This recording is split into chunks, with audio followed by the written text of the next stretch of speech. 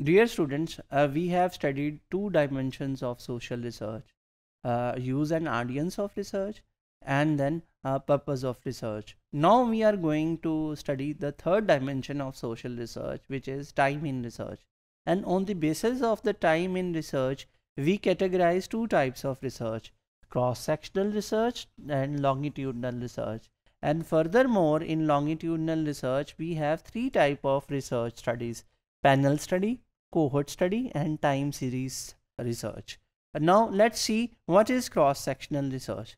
Cross-sectional research is a type of research in which the researcher collect the data from the respondents at point in time.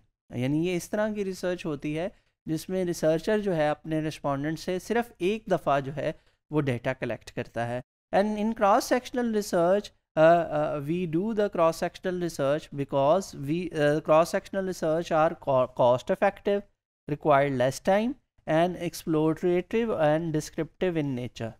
And most of applied researchers uh, researches are as well cross sectional in nature. So what are the limitations of uh, cross sectional research? Uh, on the basis of the results of cross sectional research we cannot generalize the results. uh, uh, on the basis of longitudinal uh, studies results, we can generalize the results.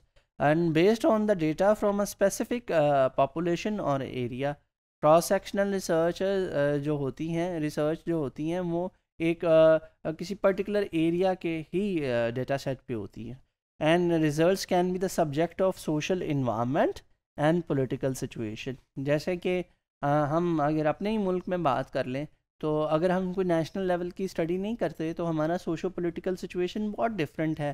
Punjab और खैबर पख्तूनख्वा की, सिंध की और बलूचिस्तान की। तो जब तक हम कोई स्टडी कोई नेशनल लेवल पे नहीं करेंगे तो हम उसके रिजल्ट्स को जनरलाइज भी नहीं कर सकते नेशनल लेवल पे।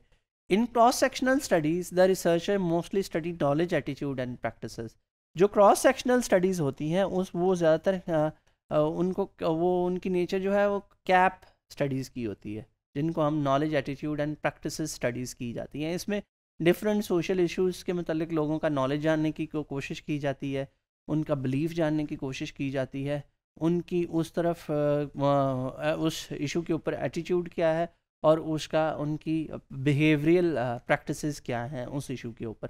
तो क्रॉस सेक्शनल स्टडीज़ में कोई इंटरवेंशन नहीं होती। बहुत कम ऐसा होता है कि कोई क्रॉस सेक्शनल स्टडी कोई इंटरवेंशन बेस्ड स्टडी हो जो इंटरवेंशन बेस्ड स्टडीज़ जो होती हैं, वो ज़्यादातर लॉन्गिट्यूडनल इन नेचर होती है। तो नेक्स्ट जो मॉड्यूल है, हम उसमें जो है लॉन्गिट्यूडनल स्टडीज़ पर बात करेंगे।